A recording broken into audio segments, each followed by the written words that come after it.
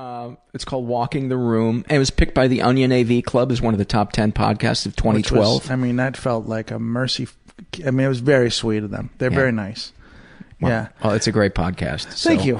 Um, people may also know you as the author of He's Just Not That Into You. Co-author. Yep. co-author of uh, that, and they just may know you as a jackass they see about town. I think. I mean, there's a lot. Like the guy that I almost got in a fight with at the deli. He. That's how he sees me. Yeah. He sees me as mind see- your own. He, he sees the me as mind your own you. business. He sees the real you. Yeah. He, and he got a little taste of it the other Yeah. day. That was fun. You didn't But- throw down, did you? Um. Well, no, but I. I. Well, I mean, I. Because a guy that wears a cardigan, I don't see. I, I don't see. Th- here's the throwing thing. down. I'm not a I'm not a throwdown guy unless you yell at an older woman uh, because you missed your number and she says I'm 35 and he said no I don't think so lady. I'm next. And I said well they already called your number. And he said uh, oh yeah? Is that how this is gonna go bro? And then because it was we'll talk about later I'm newly medicated what I found is when you don't have any of the fear that you used to have before um, you can stay in the moment and just repeat back to the guy what he's saying, but you just say it back quietly and you smile when you say it. and at one point he said, uh, You don't want to mess with me, man. And I go, You don't want to mess with me, bro. and I just smiled at him, like maybe we'd have a hug. He just got more and more furious, and eventually he just ordered some chicken. it really was that weird thing of, I really was like, I really have had this, uh, um, this uh, sort of, you know, kind of awakening through this situation through, using the meds, and and I, I was just present for it, and I was just like, I'm not going to yell, but you're also not going to push an old woman around on Super Bowl Sunday. This woman's wearing a lime suit. She's got enough going against her. on a Monday, she's, She's on 80. her own. Take but, her- but on Super Bowl Here's, Sunday, here's my favorite Yeah. part of the whole thing.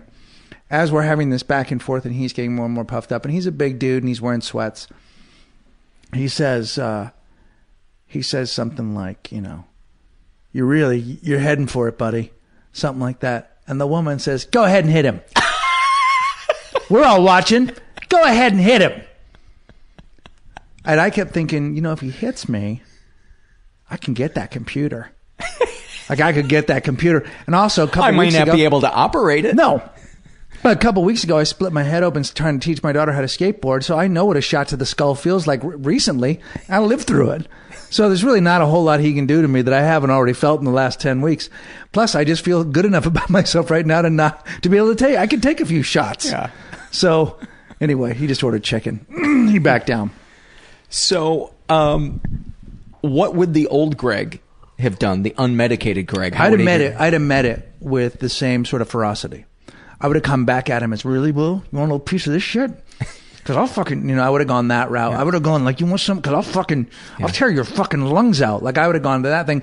The problem is that guy couldn't rip anyone's lungs out. So he could. I'm a, you know, I'm a fine enough actor to be able to pull that off. But I couldn't then when that, like, if he was like, okay, I'd be like, maybe later. I don't have my lung pulling hands on. Like I don't know what I would say. But I just, I wasn't. When I get back from my car, I'm gonna kick your ass. Yeah, it would have just it would have just escalated, and it would have like it wasn't like I wasn't in fear. It's just I would have let my fear take it to that point where my wife grabs my arm a lot and goes, "Don't make this a thing," you know, or in the car, or any time where someone just bumps me, and then I feel like I've been shoved by God, and I'm like shoved back, you know, and I, you know, I go, "Oh, the life can't fuck you, life," and um, I just don't have the energy, I suppose, for that, or I don't know. And, and isn't all anger? Isn't there just a, a little ember of fear inside that feeding it anyway? totally. I mean. It may be really buried, and you're not you're not you're not recognizing what that fear is. But Right. Yeah, no, totally. And and I mean I genuinely watched a guy yell at an older woman at the store and was like, "Bro." And I didn't come at him like that. I was just like, "Bro, like mm-hmm. You you have to be clear on this. You're 55 with a mustache and sweats and this woman is 80 plus. Like just let her have let her order. Then you can go next or whatever. There were a lot of different ways he could have resolved that. You know, even by saying, "You know what, guys, I missed my shot." I'm 34. To which both of us would have said, "Yeah, go ahead, no problem." Mm-hmm. Super Bowl Sunday. I'm just getting some chicken. He was getting some chicken. He really got pumped up. And then at one point he called me a slob, and I said, "But you're wearing sweats. Like that doesn't work." that really made him mad. and when I got a little, like a little crowd gathered around. There's a little bit. Of, I got, a, I got a couple of laughs.